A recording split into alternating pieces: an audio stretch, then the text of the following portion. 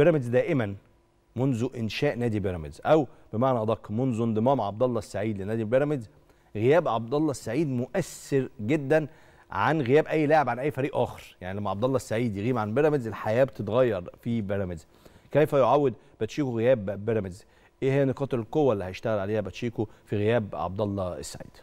آه، في في غياب عبد الله السعيد بيراميدز بيفقد كتير جدا من فرصه في بناء اللعب العادي وصناعة هجمات من بناء اللعب العادي. لأن بيراميدز بي- بيفتقد عبد الله اللي هو محور أدائه كله في بنى اللعب نفسه في الهجمات. صناعه الفرصة إن إحنا بنتدرج بالكورة وبنطلع من المرحلة الأولى اللي أنا بعمل فيها لغاية لما تبقى هجمة كانت دايما بتمر على أرجل عبد الله السعيد.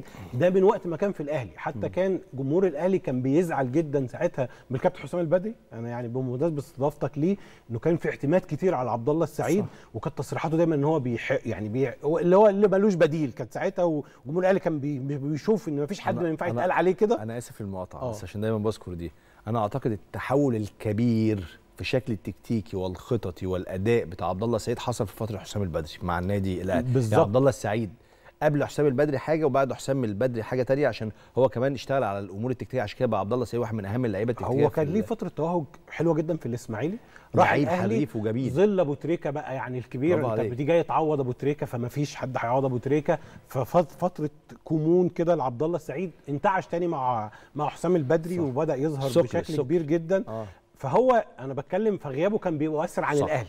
فما بالك بغيابه عن بيراميدز فمؤثر جدا عشان كده بيراميدز أنا في رأيي أنا في مباراة الكاس ما عملش خطورة في مباراة الأهلي كل المحاولات بتاعته. كانت في محاولة في الشوط الأول لعبد الله السعيد. بقية المحاولات كلها كرات ثابتة. ودي أعتقد في وجود علي جبر اللي هيرجع تاني لبيراميدز من الغياب ما كانش متاح في مباراة الكاس هيكون أحد الحلول اللي بيراميدز هيلجأ ليها.